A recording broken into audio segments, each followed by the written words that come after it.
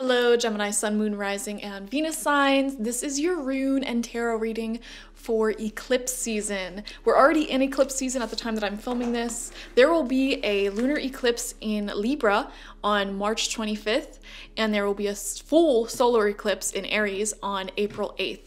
So between those dates, this energy is going to be the strongest, but we will also feel it a week prior and a week after. So from February 25th, 2024 to May 8th, 2024, we will be in eclipse season. And for those who are unfamiliar, eclipse season tends to bring in a lot of shocking changes and divine interventions. It's sort of like the universe has a hand in our lives, and a lot of unexpected shifts and turns take place.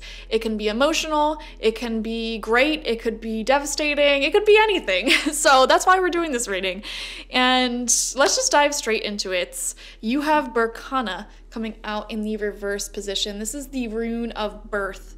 Okay, so for some of you, I am wondering if there are fertility issues. You know, I'm just being honest, I am picking up for some Gemini folk. And I'm not predicting, I don't predict things like this, so this would have already happened if it resonates for you. This could be some sort of fertility issue you've been having, like miscarriage or something like that. Again, not predicting it, not predicting it. If you're already pregnant, there's something with that though, like if it would have already happened in your life, you may be dealing with that at this time. This could also talk about um, unexpected changes in your family, family emergencies, or um, health. Health seems to be coming up really strongly, Gemini. So the health of you, the people around you, etc., seems to be taking um, center stage at this time. So, yeah, there's that. okay, so take really good care of your health. I would recommend making any doctor's appointments that you've been procrastinating during this time and just, you know, making sure everything's okay. Some of you Gemini may find yourself in a caregiver position, which is why Berkana is coming out very strongly at this time.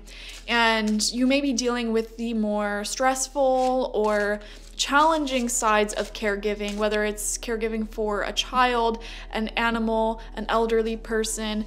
It's just like you're caregiving for someone and they may be going through their own challenges, is what I'm seeing here. For some of you, you may be nurturing your own health if you're coming out of a sickness or some sort of injury. So the the theme really seems to be maintaining health, taking care of health, caregiving. We have the Page of Wands coming out as your first card. We're going to pull six cards from the Giant Rider Waite Smith deck. This is the first one, and this represents communication.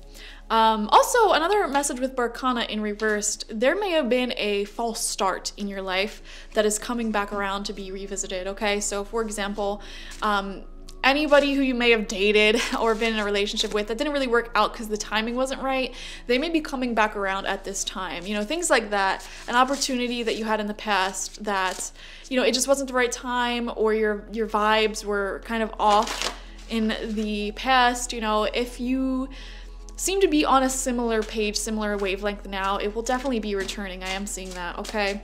So a second chance at something seems to be coming forward, and I am seeing communication there, um, passion there, budding sort of romance or like a budding excitement. Uh, with that really interesting and this could even be a second chance at like old projects or ideas that you had that you just didn't have the time to do you may be doing them at this time we have the Queen of Cups, again, talking about fertility. I don't know why fertility, children, babies keeps coming up so strongly for you guys. Even if it's not like physical human babies, this could be like you are pregnant with the idea of something and you're ready to give birth to it. And you may have the fertility issues, may have been creative blocks or just not enough time, resources, money in the past. And now it's like coming back around for you. And it's like, okay, well, can we do it this time? Like, is it doable this time. So there is that. I am seeing great emotional openness, but you're also wanting to protect your heart, especially if it comes to anything coming back around from the past and you're sort of revisiting, like, is it worth it this time? I wouldn't be surprised if the judgment card came out for you because the judgment card represents things from the past returning and making the judgment call on whether or not we want them to return, or the Six of Cups. Similar message there as well, but we'll see what else comes out. Definitely um, your social life your relationships is standing out strongly. I feel really strong family energy as well so your family may really need you at this time or call upon you at this time for whatever reason. I don't know if you're like babysitting caring for someone uh, doing a favor for someone or if there's like a family crisis that's in the middle of taking place here or some sort of big transition that's taking place here but i am seeing that energy as well. Let's see what else comes out who the devil? Mmm. We have the Four of Wands. Wow, this card keeps coming out for everyone. A lot of marriages, a lot of like new celebrations. Three of Wands. Holy moly. Let's see what the final card is before we dive deep into what this all means. King of Pentacles. Wow, King of Pentacles, Queen of Cups, Page of Wands. Yeah, so a king, a queen, and a page. Like I said, children, babies standing out really strongly. A lot of you guys, pregnancy and babies are standing out so much right now. So if you're not into that, take precautions, okay? Um, and if you already have a child, you know, I feel like sorting out issues that may exist with that child's mother or father, you know, the other counterpart there, um, may be a big theme of this eclipse season for you because we have the King of Pentacles, we have the Queen of Cups, oh gosh. and in between them is the Devil, which talks about the patterns that are toxic that we're stuck in. So I definitely feel like um, anything that's been toxic in the past or or just negative, not healthy for us or the people around us is definitely coming to the surface right now to be healed. You know, I feel this energy of time has passed, wisdom has been gathered, a healing has taken place. And so it's like can we come together this time around in a really healthy and successful way? With the Four of Wands? Can we communicate? Can we work together very healthily? I'm seeing partnerships here that go beyond just like romance or, you know, the traditional partnerships. It's like, can we be good life partners even if we're not together? Can we be good friends? Can we, you know, have a healthy mother daughter, father daughter, father son, mother son relationship? Can we be good siblings? You know, this sort of energy is coming through really strongly here. I wonder for some of you if this is a romantic person, either that you're presently with or from the past that's returning. I wonder if you used your sensual energies, your physical life to mask problems that existed in this relationship. Mm. Some of you guys, this person, you may have had a fire sex life, but there may have been other issues in the connection. And I'm seeing growth has taken place.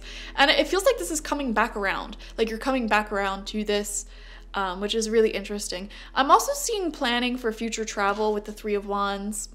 Okay, there's a big focus on your personal goals and creative ideas at this time, whatever those goals and creative ideas may be. For some of you, it may be a business. I'm also seeing, I've been seeing for a lot of people, um, home renovation, saving up for a home, things like that. And there's a big focus on that, you know. And I feel like you want to protect your energy because things have probably been going pretty okay, pretty good for you. And you don't necessarily want to become chained up to a relationship or an obligation that's takes your peace away from you once again, you know? So I am getting a sort of like protectiveness over your energy. I am seeing a divine feminine energy here in your reading that is very creative, spiritually connected, open. This could be you for a lot of you. Um, and then I'm seeing a divine masculine energy here that is more grounded, practical, logical. And they're both in their more mature energies. So I don't know why I keep coming back to like a, a couple that did not work in the past. You know, they may be really good at co- communicating now, even if they're not together. Like they may be a good team now, even if they're not together. So I, I'm seeing that for some reason, or like your relationship there may be okay. This could even be talking about a couple that isn't you. You know, this could be like your friends' relationships are improving, they're becoming better, it's less weird, you don't have to hear so much about it anymore. Um, we also see the Four of Wands, which does show a big life celebration for you. So during this eclipse season, there's probably going to be some sort of celebration. Um, and this celebration may involve travel for some of you.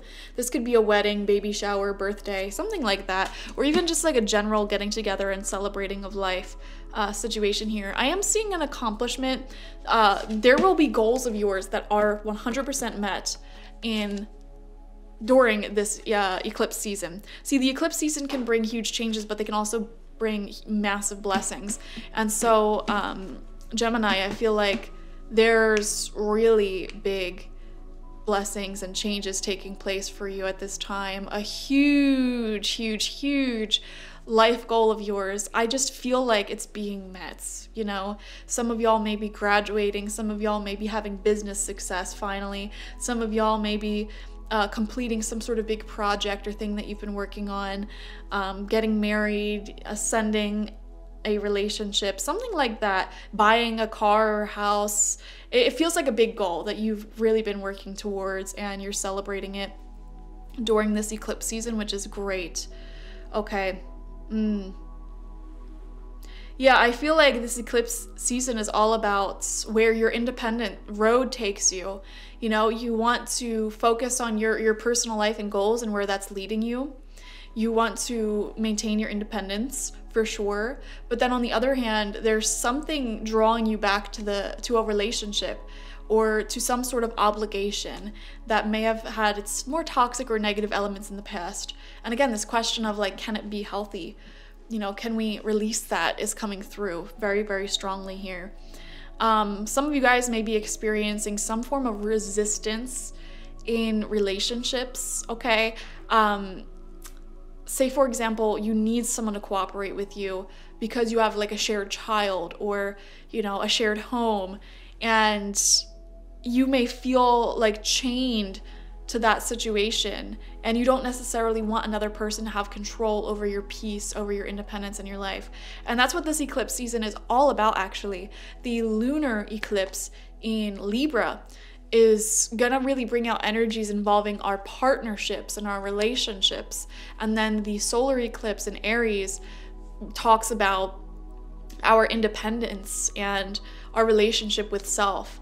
So, balancing those two may take some work. For you guys in particular, I feel like the lunar eclipse is going to be really, really significant because it feels like you've been enjoying your alone time, you've been focusing on your personal goals and well being, and just trying to like hype yourself up.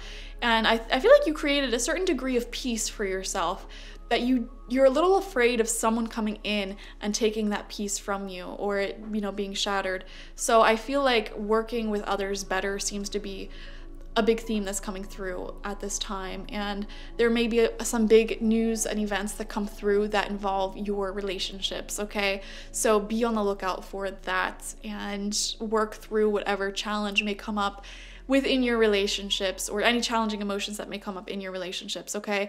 Thank you guys for joining me. Definitely watch for your sun, moon, rising, and Venus signs to get the fullest overview of this eclipse season, especially if any of those signs are a cardinal placement, such as Aries, Cancer, Libra, or Capricorn because those signs are going to be the most affected. Like this video, comment how it resonated down below, and subscribe to the channel if you have not already. If you want a personal reading with me one on one, the link to that is always in the description box spiritpsychic.org. I also offer my intention oils there and my spiritual life coaching sessions there, so check it out. Bye bye.